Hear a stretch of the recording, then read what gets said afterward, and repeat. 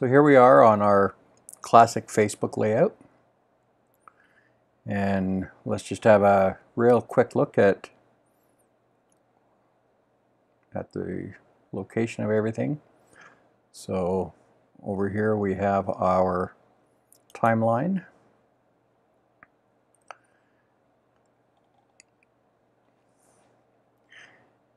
And then we've got our news feed or home button.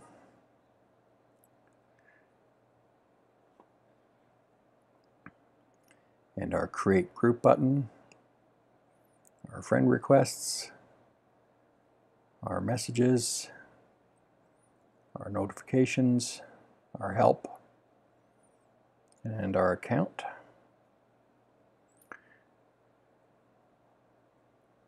Now I'm not going to go through and show how everything works on the old interface because I'm assuming you're already familiar with that. So if you want to switch over to the new beta interface, so we go up here and we click on this little arrow ahead. And right near the bottom of the pop-up menu we click our switch to new Facebook. And you can see it's a little bit different of a layout. Things are found in different spots. So we'll start with the area we're already in which is our news feed or the home So our extra options here are available by clicking on see more.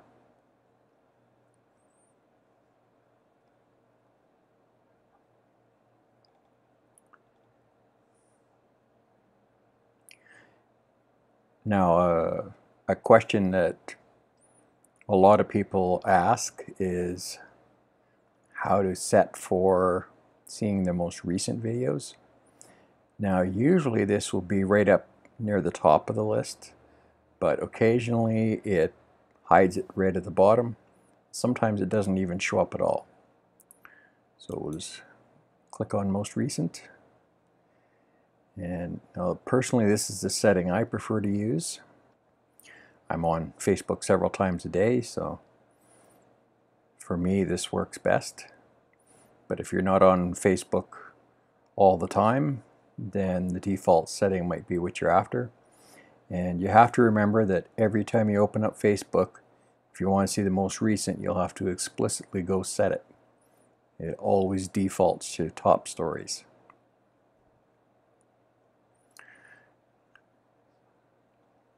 So I'm just going to uh, shrink that list back down.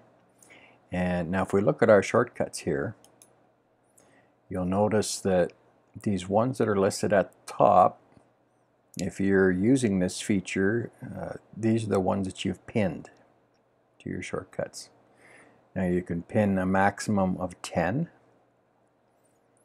and there is a way to go in and control that. So if we actually just go into the little edit link there, so you can go in here and and change whether you're going to pin them or not.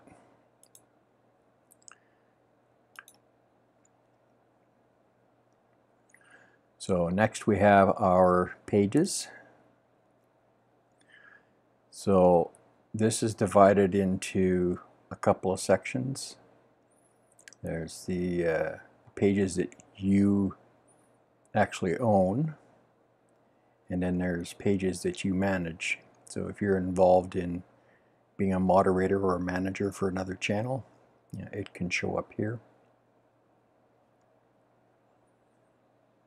And you can also create a new page over here as well on the left.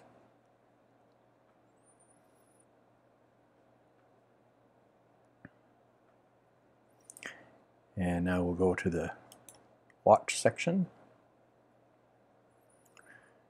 And so if you're on the home area of this, it's going to show you the ones that it's recommending based on pages you've liked or videos that you've clicked like on. And then you can look at your saved videos. And then you've got your entire watch list. So your watch list consists of the ones that you've gone in and liked their pages and you can manage that here. So you can go in and turn notifications for that page off and on or you could remove it from the list entirely. Now we'll go into Marketplace and again the ones that are showing up in here for you are generally going to be the ones that you've gone in and, and signed up for the marketplace. So whichever ones you joined, they're going to show up first. Now if you haven't signed up for any, it will still show you stuff. And those are going to be based on the most popular for your area. That's provided you've actually got your location settings turned on.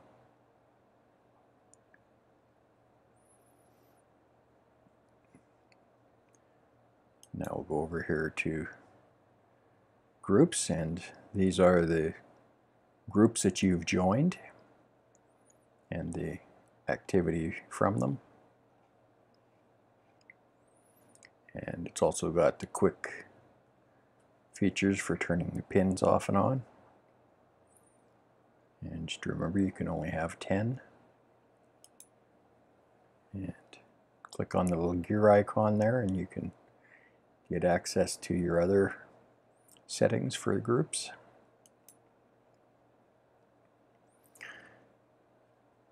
Now we're going to come back to the timeline here in a moment. We'll just take a quick look at these other little circle buttons here. So you've got your create button. So you can create a new page or group. And there's your messenger, your notifications, and of course your account menu. And this is where you would go in to switch back to your classic Facebook. And you can turn on your dark mode and a couple other things. So we'll take a quick look at Messenger. And if you see a little green dot on the profile picture, then that means that they're currently active and online. And if you've got a blue dot on the right hand column next to their name, that means there's a message waiting for you that you haven't looked at. And if you see the actual picture of them on in that right hand column, that means that they have seen your last message to them.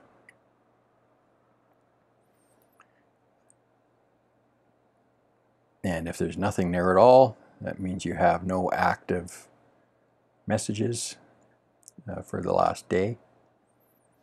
And if there's a little check mark that's kind of grayed out, that means there's a message that you've sent, but they have not read it yet. And then if you want to turn on the full messenger, you can click this link down here, see all in messenger. And that brings you into your full interface.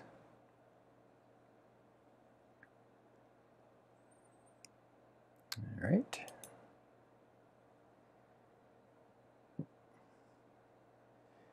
And then we've got our notifications.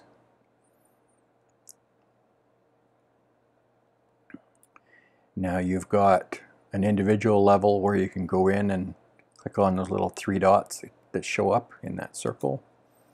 And you've got some options here. You can mark as read or you can remove it or turn off notifications. And then if you want to mark the entire list as as read. You can pop that up there. And you can also get into your notification settings here.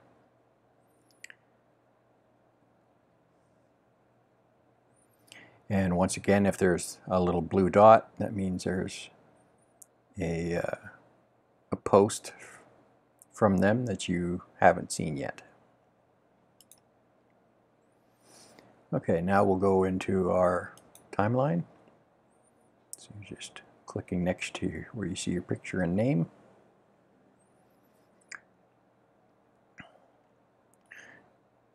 Now one of the questions that I get asked a lot actually is how do you view your timeline as others would see it? So to do that, you just click on this little eye right next to your edit profile button. So that lets you view as if you're the public. So this way you can double check to make sure your security settings are only showing what you want them to show. And when you're done doing that, you go up here, upper right corner, and you click on Exit View As.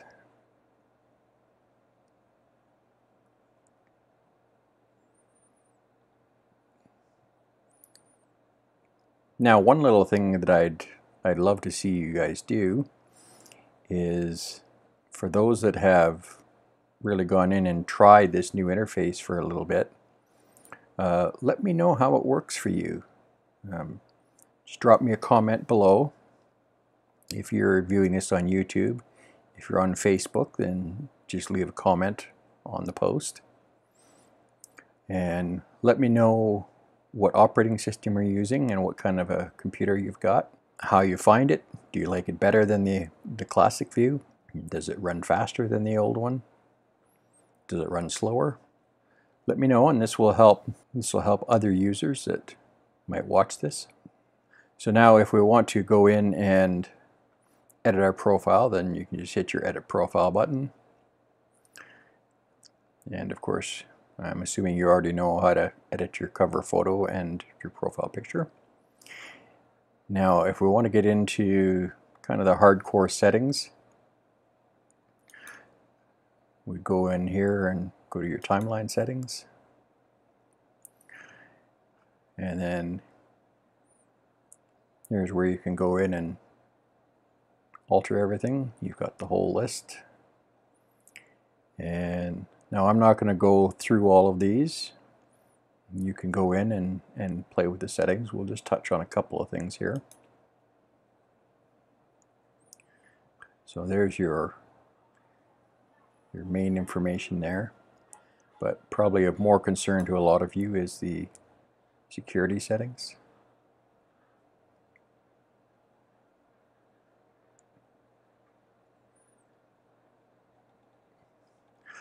Now one thing that I would highly recommend if you haven't done it already and that is to use two-factor authentication. There have been a lot of problems as of late with people hacking other people's accounts. And if you have two-factor authentication turned on, it doesn't mean that you could never be hacked, but it makes it extremely difficult.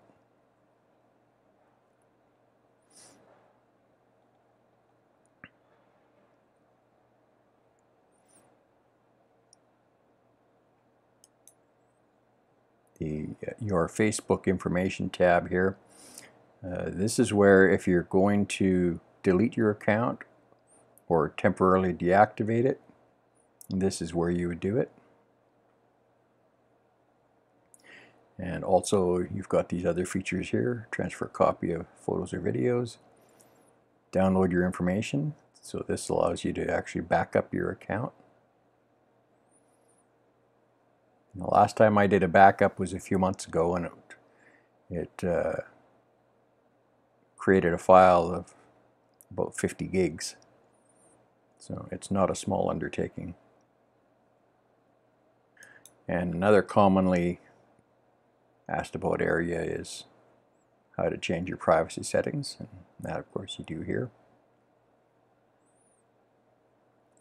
And another common question is how do you deal with blocking? So you, if you come into your blocking tab, then you can you can unblock users. You can unblock uh, messages. Because you can block messages from a user without blocking the user entirely. And you can also block invitations, apps, and pages.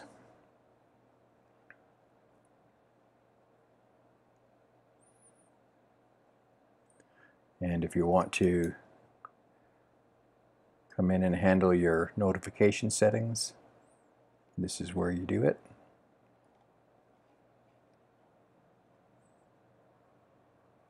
Okay, moving on. Let's go back into the timeline here. Another common question is how do you determine whose posts you see first?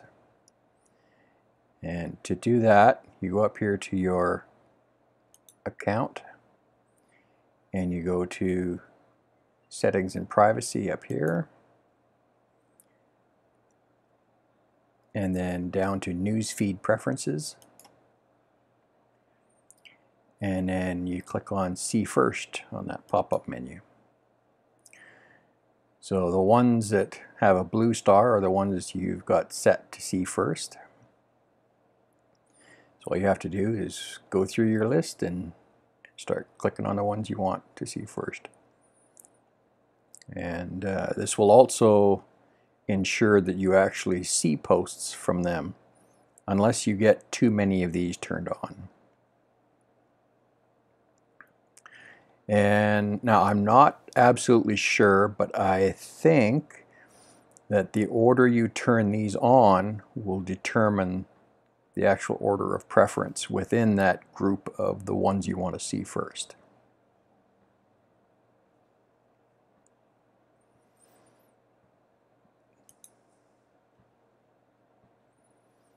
And then here is also where you can manage unfollowing people, pages, or groups. And if you've unfollowed one but are still a member and you want to reconnect, you would do it in here. And here, if you've got people that you've snoozed for a while, this is where you handle that at.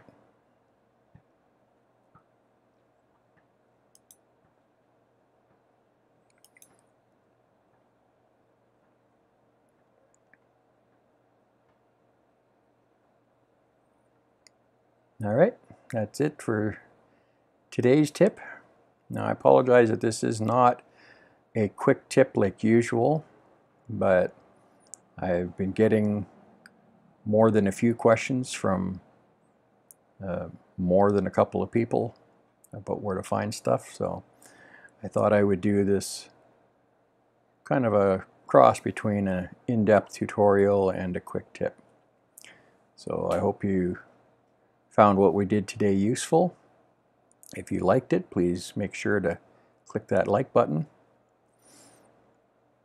if you are finding it useful and you want to see more, make sure to subscribe or follow.